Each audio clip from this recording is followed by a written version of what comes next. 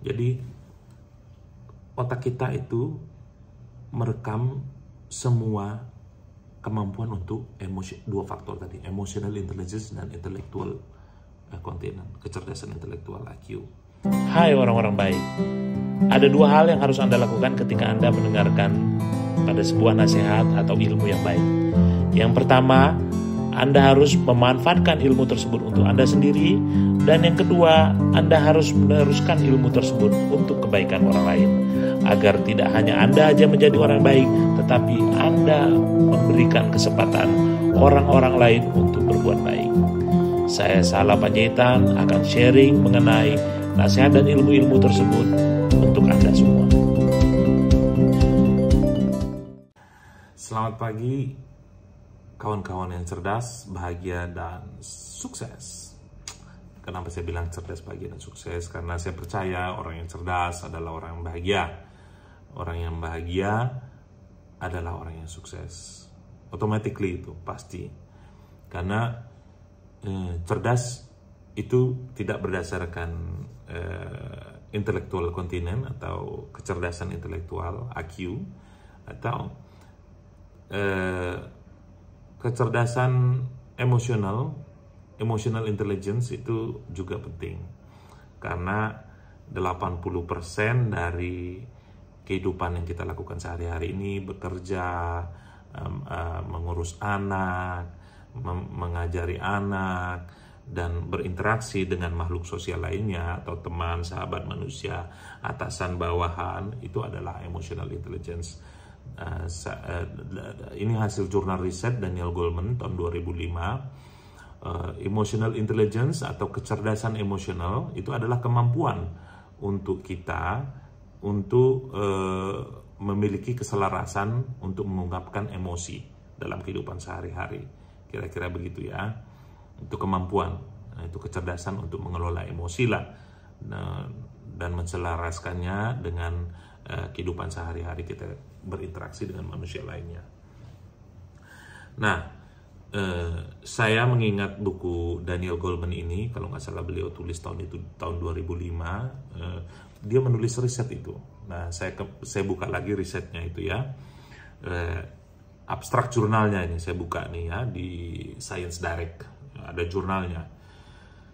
To be successful emotional intelligence has an importance as great as mathematical intelligence. Therefore, employers are increasingly looking for more people with emotional intelligence.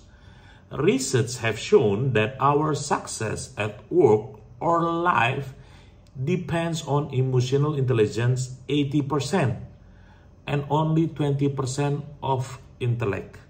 Jadi intellectual content. Jadi kalau kecerdasan intelektual itu skornya untuk manusia yang cerdas ke atas itu atau kalau nggak salah 120 sampai 100 ke atas 120 ke atas itu kecerdasan uh, intelektual di atas rata-rata kontinen. Tapi emotional intelligence ini berpengaruh 80% dalam kehidupan kita sehari-hari. 20%-nya itu IQ. Emotional intelligence EI ini berpengaruh sangat besar 80%. Kenapa? Saya contoh case. Karena inilah emotional intelligence kemampuan untuk mengungkapkan emosi kita sehari-hari. Contoh, Bapak Presiden bulan lalu pernah menegur menterinya memiliki common sense of crisis, sense of crisis untuk mengkomunikasikan program-program kemampuan memiliki kemampuan untuk berkomunikasi in term sense of crisis pada saat ketika untuk menaikkan harga nanti listrik, BBM, bagaimana komunikasinya ke rakyat, karena adalah kemampuan yang harus dimiliki setiap pemimpin. Saya rasa begitu. Apa ada baiknya juga kemampuan ini kita miliki sebagai orang yang biasa gitu, pengusaha, entrepreneur, staf biasa di kantor gitu. Nah, saya juga tertarik untuk membahas ini. Kenapa? Saya juga membaca uh, bulan lalu Neuroscience, How the Brain Works. Itu saya pernah beli bukunya ini, e-booknya, tapi saya merasa kurang lengkap kalau saya tidak memiliki hard copy-nya. Jadi tahun 2014 saya baca buku ini. Terus saya baca ulang lagi berkali-kali. Jadi otak kita itu merekam semua kemampuan untuk emosi dua faktor tadi, emotional intelligence dan intellectual uh, continent, kecerdasan intelektual IQ. Itu dimiliki oleh otak kita. Hati itu ada hanya uh, untuk membantu aja keselarasan hati. Hati itu sebenarnya dari sini bagaimana kita mengelola hak otak.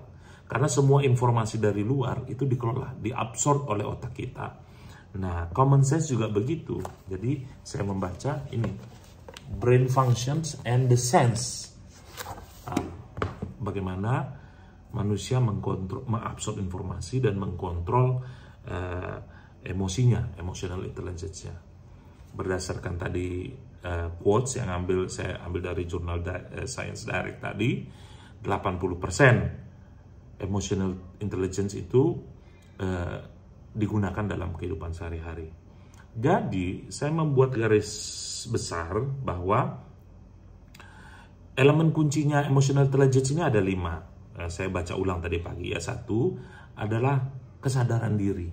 Lima kunci faktor pilarnya ya untuk memiliki emotional intelligence yang solid. Satu, kesadaran diri. Dua, self-regulation atau meregulasi diri. Dan yang ketiga adalah how you motivate yourself. Baru ketika kamu motivasi diri kamu sendiri, kamu you can motivate others. Kamu bisa memotivasi orang lain. Tapi how you motivate yourself first. And dan yang keempat adalah memiliki empati. Empati untuk diri sendiri, bagaimana you pride yourself, menghargai diri sendiri, dan kemudian menghargai orang lain. Yang kelima adalah keterampilan sosial. How you serve people. Bagaimana kamu melayani orang lain dalam kehidupan sosial sehari-hari. Lima kunci ini. Kesadaran diri, regulasi diri, memotivasi diri dan orang lain, memiliki empati yang tinggi dan keterampilan sosial. Ini penting Nanti kalau saya bedah lagi apa itu kesadaran diri, apa itu self regulation agak panjang nanti jadi 10 menit, agak membosankan. Kita akan bikin di chapter yang kedua, di bagian kedua tentang uh, emotional intelligence. Nah, yang perlu Bapak Ibu ketahui adalah saya ingin menyampaikan sebuah garis besar dari awal kalimat pembuka saya tadi adalah Selamat pagi kawan-kawan yang cerdas, selamat pagi kawan yang cerdas, bahagia dan sukses. Kenapa?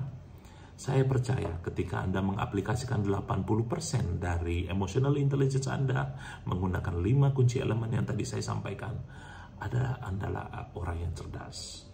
Anda adalah orang yang cerdas. Orang yang cerdas adalah orang yang bahagia. Kenapa? Orang yang cerdas akan member, berusaha untuk membahagiakan orang lain. Orang yang cerdas akan berusaha untuk membahagiakan orang yang lain. Saya ulang. Ketika kita memiliki kemampuan untuk membahagiakan orang lain, sukses itu akan datang. Kenapa? Saya kasih satu contoh. Saya memiliki beberapa banyak staff di kantor sadar teknologi. Saya selalu berusaha menjamin staff saya ini memiliki loyalitas yang tinggi terhadap pekerjaan dan perusahaan, bukan kepada ketokohan atau leader di atasnya, tetapi kepada pekerjaannya, berkomitmen kepada pekerjaannya. Bagaimana caranya?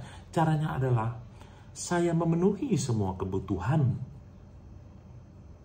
emosional yang harus dimiliki oleh setiap staf tersebut.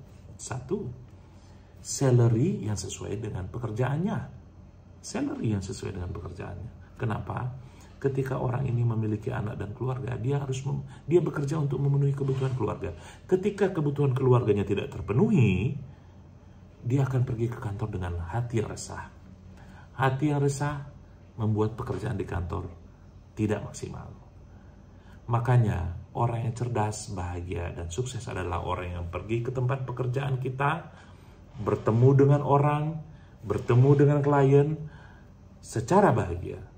Kita memiliki kemampuan kecerdasan untuk berbicara dan mengelola dan mengungkapkan emosi kita serta menangkap emosi dari oponen, lawan bicara kita, siapa pun itu.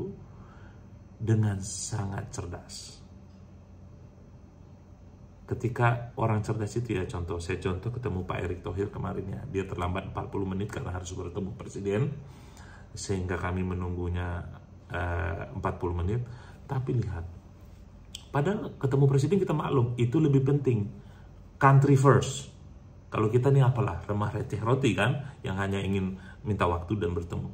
Tetapi ketika beliau datang Pak Erick Thohir ini, dia meminta maaf kepada kami hampir tujuh orang yang datang untuk berbicara sama beliau meminta maaf maafkan saya maafkan saya maafkan saya terlambat padahal kita tahu dia bertemu presiden agenda dadakan ini adalah kemampuan salah satu contoh kemampuan orang memiliki kecerdasan untuk membuat orang lain membuat orang lain bahagia dengan meminta maaf pejabat tinggi negara yang meminta maaf dan dia mengerti dia salah ini dia memiliki elemen kesadaran diri self-regulation and they motivate us dengan meminta maaf dengan yang tulus. Meminta maaf tulus dengan tidak tulus itu kelihatan saudara-saudara. Bagi orang yang memiliki kecerdasan emotional intelligence dan memanfaatkannya 80% dalam kehidupan sehari-hari. Demikian saudara, orang yang cerdas adalah orang yang membahagiakan orang lain. Dan ketika kita bahagia dan mereka bahagia, kesuksesan akan kita raih bersama. Percayalah. Saya salah Panjaitan untuk Sada Teknologi Indonesia. Sampai jumpa di chapter berikutnya tentang uraian dari breakdown dari 5 elements emotional intelligence. Mudah-mudahan ya, ini udah 10 menit. Thank you.